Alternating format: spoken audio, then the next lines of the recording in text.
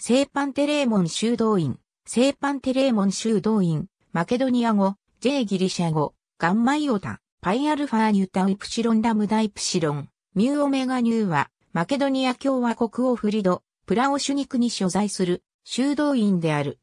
聖、クリメントにより建造され、教育の中心として。大きな役割を果たした。修道院の側面に近年建設された首楼。入り口上側に設けられたイコンは、聖パンテレーモンの傍らにいる聖、クリメントと二人を見下ろすキリストを表している。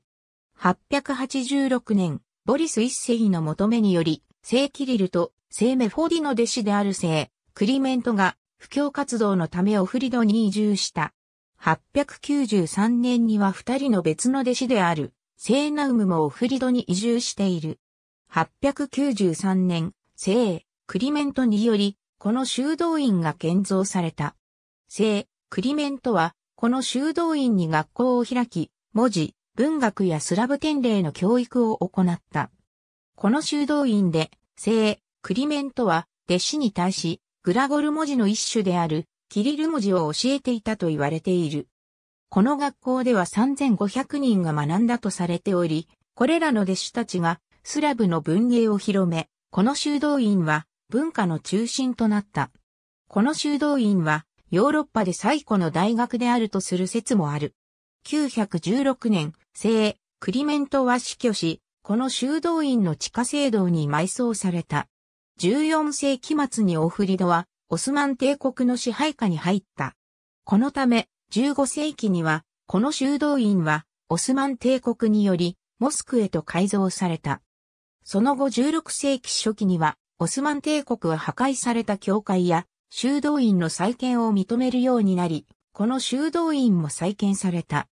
しかし、この修道院は16世紀末期、または17世紀初期に再度破壊され、イマレットモスクと呼ばれる別のモスクがオスマン帝国により建てられた。考古学者らによるプラオシュニクの発掘1943年に、この修道院の発掘が初めて行われ、地下のトンネルと地下聖堂の存在が明らかになった。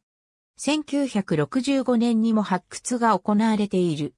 1999年、イマレットモスクの残骸を取り除いての大規模な発掘が行われた。発掘により4世紀から6世紀の間に建てられたと見られる5つの胸からなるバシリカの洗礼場が発見された。洗礼場のモザイクの床にはスワスティカの模様が付されていた。このバシリカは十二使徒の一人であるパウロに捧げられたものであると考えられている。続いて再建作業が開始され、2002年7月末には修道院の建物が完全に再建された。部分的に破壊された首楼も修道院の右側に再建され、教会内部の床も大理石で再建された。2007年10月10日には発掘により約2383枚のベネツィア共和国の貨幣が発見された。考古学者パスコ・クズマンはこれらの効果はオフリドとベネツィアの商業的な結びつきを示すものであり、特に重要なものであると述べている。後方からの眺め。玄関。聖パンテレーモン修道院は、オフリド湖を見下ろす丘に建てられており、この丘は現在は、プラオシュニクと呼ばれている。この修道院は、聖クリメント自身により設計、建築されたと言われている。複数の歴史的な文献によれば、聖クリメントは当初古い教会を再建することによりこの修道院を建造したが、規模が小さすぎたため、その基礎の上に新しく、教会を作り直し、聖パンテレーモンをその守護聖人としたとされている。研究者らは、修道院の建築様式及び設計から判断するに、聖、クリメントはこの修道院を当初から学校としようとしていたと考えている。